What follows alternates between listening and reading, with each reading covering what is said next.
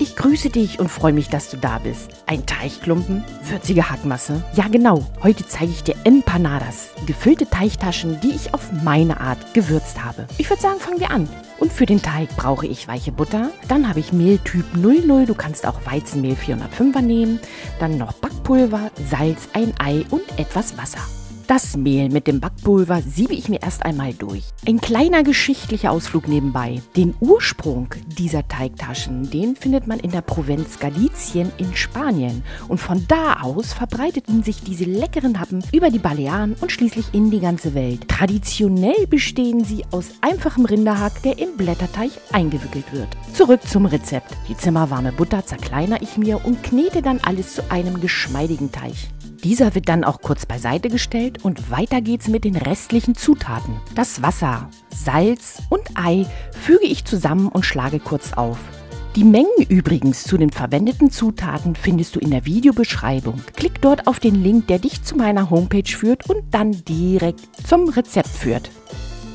Diese Flüssigkeit gebe ich zum beiseite gestellten Teig und knete sie gut mit ein, bis daraus eine klebrige Teigmasse entsteht.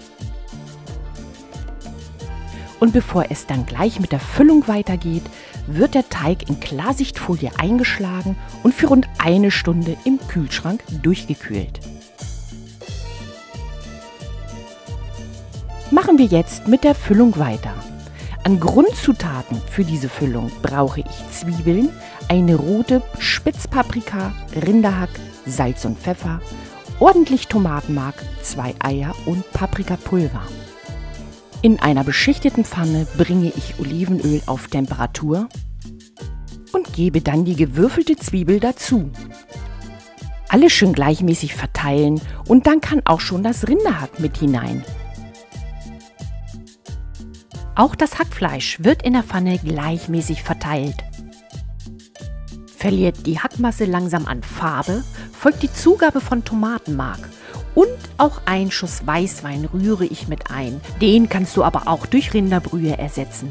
Es spielt keine Geige, für welche Variante du dich entscheidest. Beide Flüssigkeiten sorgen für mehr Würze und ich lasse sie in der Pfanne quasi verkochen. Zum Auskühlen gebe ich die Masse nun in eine Schüssel, verteile sie gut an den Rand, sodass sie schneller auskühlen kann. Und dann kommen auch so langsam die restlichen Zutaten für die Füllung dazu die gewürfelten Paprikastücke, das Paprikapulver, Salz und auch der Pfeffer. Schwingen wir den Kochlöffel und rühren alles wieder gut unter. Zwei Eier habe ich dann noch dazugegeben und wieder untergerührt und dann festgestellt, dass mir die Masse viel zu glitschig und flüssig ist. Und somit habe ich für eine festere Konsistenz Parmesankäse dazugerieben. Den Käse dann auch nochmal gut unterrühren, bevor wir uns dem Teig widmen. Der Teig ist gut durchgekühlt und wird aus der Folie gepellt. Auf einer bemehlten Unterlage nehmen wir uns ein Stück Teig und rollen diesen gleichmäßig auf etwa 2 cm Dicke aus. Hier werden dann mit Hilfe eines Ausstechers Kreise ausgestochen. Der restliche Teig drumrum wird beiseite gelegt und für weitere Kreise mit verbraucht. Pinsel die Ränder der Kreise mit Eiklar ein, sodass sie später nicht aufgehen und verteile jeweils einen Klecks der Hackmasse oben auf.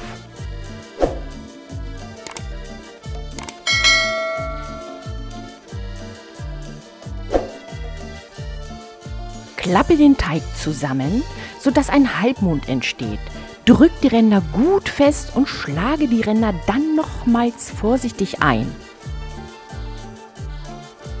So geübt war ich nicht darin, wie man sieht.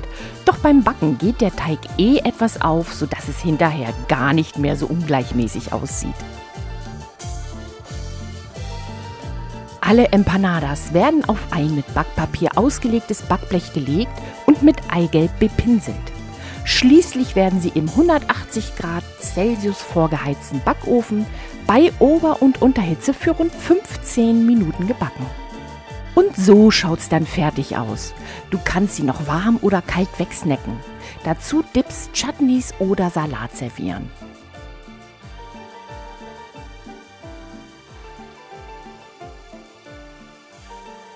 Probiere dieses Rezept gern aus und lass mir bei Gefallen einen Daumen nach oben und einen lieben Kommentar da.